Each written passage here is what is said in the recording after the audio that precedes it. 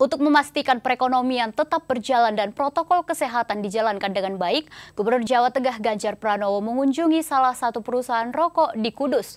Ganjar memastikan para buruh rokok dalam pekerja sudah terbiasa dengan kebiasaan baru dengan selalu mengenakan masker dan selalu menjaga kebersihan. Dengan didampingi PLT Bupati Kudus, Gubernur Jawa Tengah Ganjar Pranowo mendatangi pabrik rokok Nojorono di Kabupaten Kudus. Ganjar langsung menyapa ribuan buruh pabrik rokok yang sedang bekerja sesuai dengan protokol kesehatan. Dalam menjalankan protokol kesehatan, perusahaan rokok telah mengambil kebijakan dengan mewajibkan semua buruh memakai masker saat masuk ke area kerja dan akan selalu dicek suhu tubuhnya. Untuk mengurangi kepadatan, pihak manajemen membagi dua shift jam kerja bagi para pekerja sehingga dapat mengurangi 50% jumlah pekerja dalam satu ruang.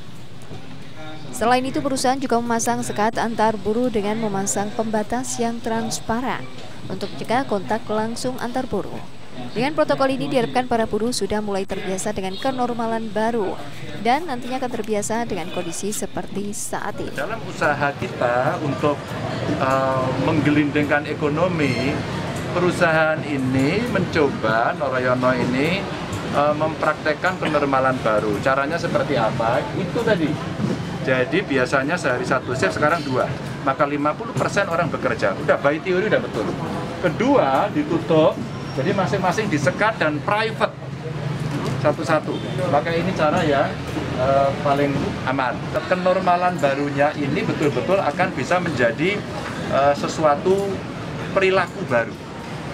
Kalau kebiasaan ini dilakukan terus-menerus, orang akan sadar, oh saiki aku harus melakukan ini, harus membawa masker.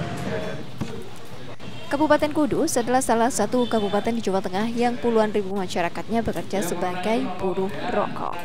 Dengan penerapan kenormalan baru di perusahaan rokok ini, diharapkan roda perekonomian akan kembali berputar dan masyarakat bisa kembali bekerja seperti sedia kala.